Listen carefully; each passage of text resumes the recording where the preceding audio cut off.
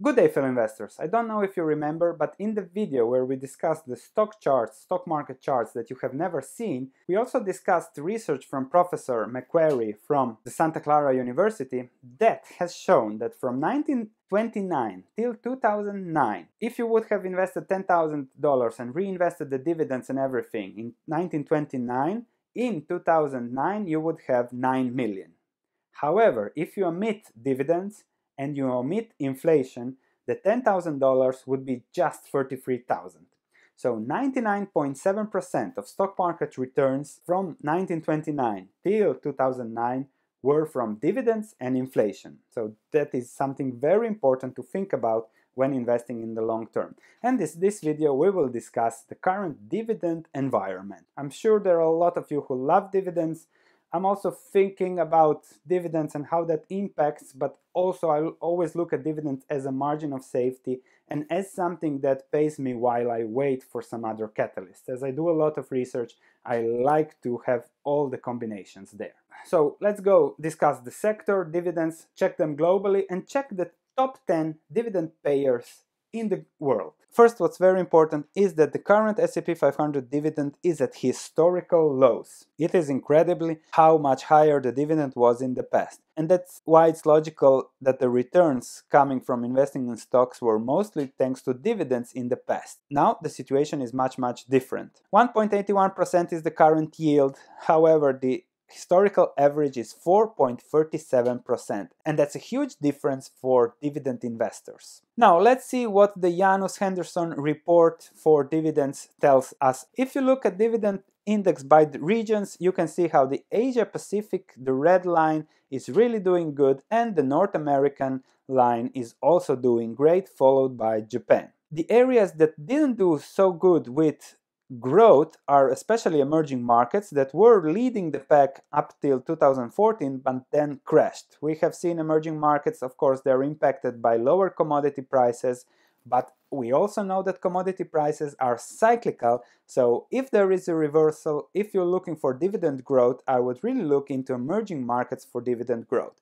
Europe has a lot of problems, as I keep saying, and that's why you also see that even with all the euro printing that there is going on, the dividends aren't really gro growing, and Europe is the worst performers over the last seven years. Now, what's very, very interesting is that if you look at Asia Pacific, excluding Japan, add the emerging market dividends, that is 41% of global dividends. If you look at North America, that's 41% of global dividends. So, Emerging markets in Asia Pacific, 41% of dividends. North America, 41% of dividends. The North American market has, I don't know, 50, 60, 70% of the global market capitalization. Adding Europe, that really dwarfs everything else. So, emerging markets have much, much better valuations, much, much higher dividend yields. So, if you're looking for dividends, I would really switch my 1.8% S&P 500 dividend with something better, stabler, higher dividend in emerging markets because the valuations are extremely different. A look at the sectors, the tech sector, I hope I pronounced it well today. The tech sector beats everybody.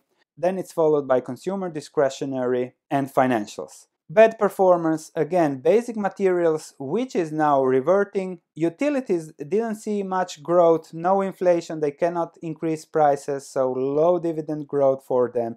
If there is inflation, they might do better in the future. Oil, gas, still very low. Telecommunications, very, very bad, of course, no growth there.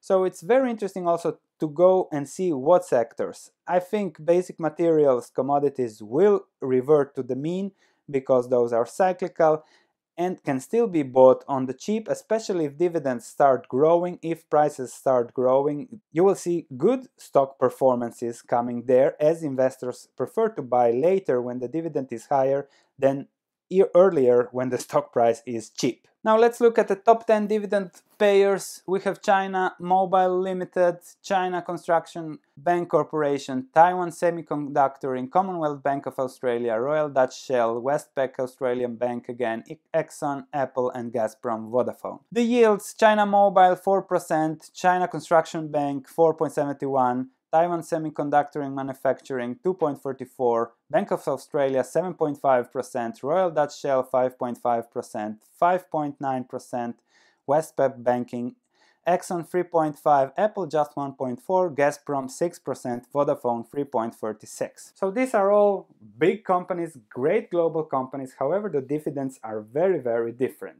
So depending on what you're looking for, what are the risks, I would really look into dividend yielders that pay higher dividends because I think there can be the similar growth, similar stability, similar risks and higher dividends if you just look around the world what's there. We'll continue discussing dividend stocks so please subscribe to the channel, click like for channel support and there will be plenty more interesting investments where to invest in.